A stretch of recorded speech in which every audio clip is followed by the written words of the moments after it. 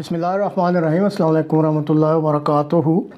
सोमवार 26 सितंबर और मंगलवार 27 सितंबर को स्वीडिश की एस एम ए यानी स्वीडिश मैरीटाइम एडमिनिस्ट्रेशन ने नॉर्थ स्ट्रीम वन और नॉर्थ स्ट्रीम टू में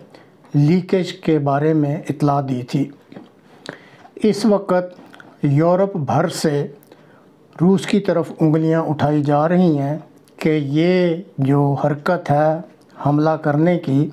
ये रूस की लगती है। और इस बारे में जो इल्ज़ाम की बुछाड़ है, उसमें यूक्रेन सबसे जो है, वो लीड रोल अदा कर रहा है और बढ़ बढ़ के इल्ज़ाम लगा रहा है कि ये रूस ने दहशत गर्द हमला किया है।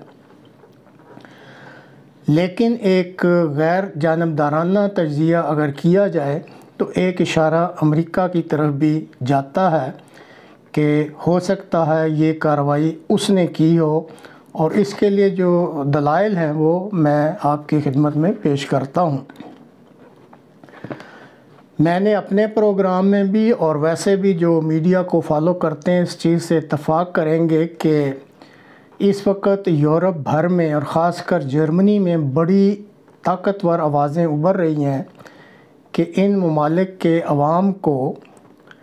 अपने ऊपर ये जो मुसीबत आ रही है तोानाई के बहरान की वजह से सर्दियों में तो इस पर काबू पाने के लिए रूस के साथ तलक़ात और माहों पर नज़रसानी करनी चाहिए, ताकि गैस और तेल की जो दस्तियाबी है वो कम कीमत पर जो है उसको यकीनी बनाया जा सके या मुमकिन बनाया जा सके। और अमेरिका जो है, इस वक्त इस चीज़ के सख्त ख़िलाफ़ है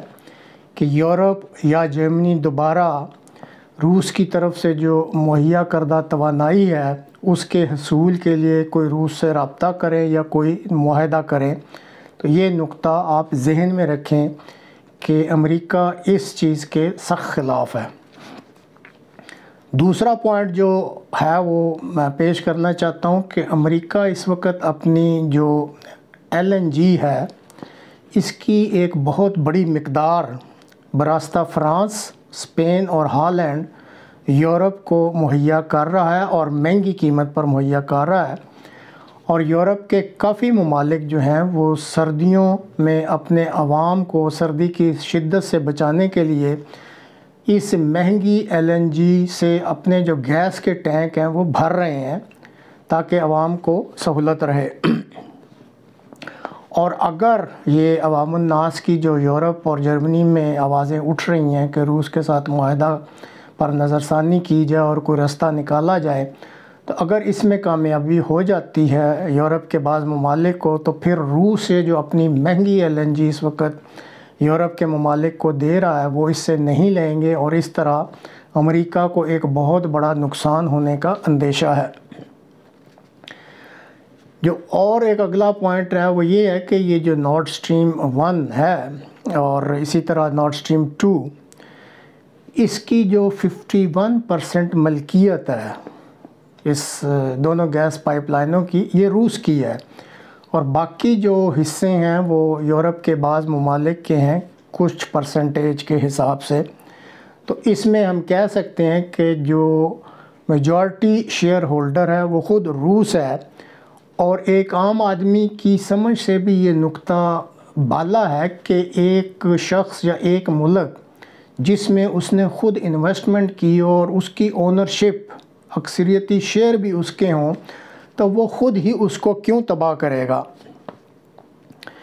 और यहाँ पे ये नुक्ता भी सामने आता है कि अगर रूस ने ये हरकत करनी ही थी तो साथ से ये जो जिसका भी अफ्ताह हुआ दो दिन पहले बाल्टिक पाइपलाइन जो नॉर्वे से पोलैंड आ रही, वो भी बिल्कुल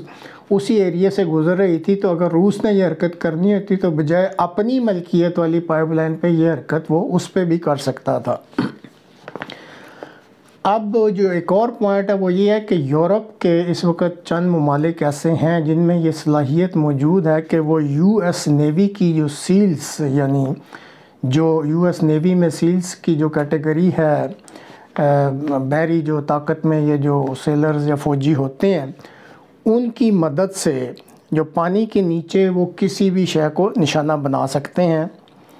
और इस वक्त यूरोप में चंद ममालिक ऐसे मौजूद हैं, मैं नाम नहीं लेना चाहता, जो अमेरिका के साथ इस किस्म का तावन कर भी रहे हैं यूएस नेवी सील्स के साथ। और फिर यूक्रेन के बारे में कि वो अमेरिका के साथ इस किस्म का तावन कर रहा है। इस पॉसिबिलिटी को भी आप नज़रअंदाज नहीं कर सकते। और इस चीज़ की अहमियत तब और भी बढ़ जाती है कि जब ये वाक़ रूप, रूनमा होता है तो फौरी तौर पे सबसे पहला रिएक्शन जो है वो यूक्रेन का आता है कि जी ये सारी हरकत जो है वो रूस ने की है। तो इससे भी जो शक शुबा जो है वो, यूक्रेन की तरफ़ भी जाना शुरू हो जाता है कि वो क्यों इतना आगे आगे हो के तो सारा इल्ज़ाम रूस पर दे रहा है। हालाँकि अभी ना कोई तहकीक शुरू हुई है और ना कोई इस बारे में हतमी नतीजा सामने आया है। अब ये जो नॉर्थ स्ट्रीम की पाइपलाइन है, इसमें जो स्टील इस्तेमाल हुआ है, उसकी जो मोटाई है वो 26 से चौंतीस मिलीमीटर तक है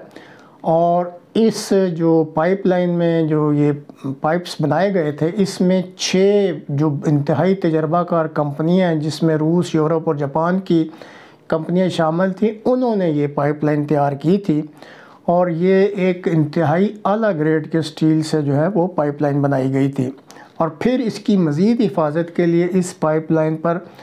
कंक्रीट एनकेसिंग कहते हैं कि जी बाकायदा कंक्रीट की कवरेज भी दी गई थी ताकि ये मज़ीद मज़बूत हो जाए। और इस वक्त ये जो बाल्टिक सी में 80 से लेकर 110 मीटर तक समुंदर की गहराई में जो है ये पाइपलाइन चल रही है तो अब कोई गोताखोर, किसी में दुनिया में इस वक्त ऐसा कोई गोताखोर नहीं है जिसमें ये सलाहियत हो कि वो इतनी गहराई तक जा के तो इस पर हमला कर सके। तो इससे साफ़ ज़ाहिर होता है, फिर कोई जो समंदर में, जो गहराई में जाने वाली आबदोज़ें होती हैं, उनमें से किसी आबदोज़ को इस्तेमाल किया गया है, जिसके ज़रिए इस पाइपलाइन पर बारूदी मवाद जो है, मखसूस पॉइंट्स पर वो चिपकाया गया और बाद में फिर धमाका करके इसको नुकसान पहुँचाया गया अब सवाल ये पैदा होता है कि एक ऐसी आबदोज़ जिसमें सलाहियत हो कि वो समंदर में नीचे जाए, बग़ैर डिटेक्ट हुए फिर उसमें ऐसे गोताखोर मौजूद हों जो कि बारूदी मवाद को मखसूस जगहों पर चिपकाएँ और फिर वो जो आबदोज़ है वो रिट्रीव या विड्रा करे और फिर एक मखसूस से तरीके से ये धमाका किया जाए। तो ये बहुत बड़ी सलाहियत है और ये जहन में रखना चाहिए कि इस वक्त कौन से ऐसे ममालिक हैं जिसमें ये ऐसी सलाहियत मौजूद हो सकती है। तो जो इस वक्त के माहरीन हैं, वो बताते हैं कि एक अमेरिका है जिसमें ये इस किस्म की सलाहियत, जो हर किस्म की इस किस्म का काम करने के लिए उसमें मौजूद है और वो किसी भी यूरोप यूरोपी मुल्क के, जो उस एरिए के हैं, उनके तावन से ये काम कर सकता है। अब जो देखना ये है कि जो अमेरिका और उसके हलीफ हैं और दीगर ममालिक, जिन्होंने तहकीक का बड़ा पुरजोर मुतालबा किया है तो अब सवाल ये पैदा होता है कि ये तहकीक भी इन्हीं ममालिक ने करनी है जो कि मुतालबा कर रहे हैं। तो इस बारे में तहकीक के नतीजे में वो कौन से नतज सामने लाते हैं और इसका हतमी तौर पर वो क्या नतीजा निकालते हैं तो इसका हमें इंतज़ार करना पड़ेगा।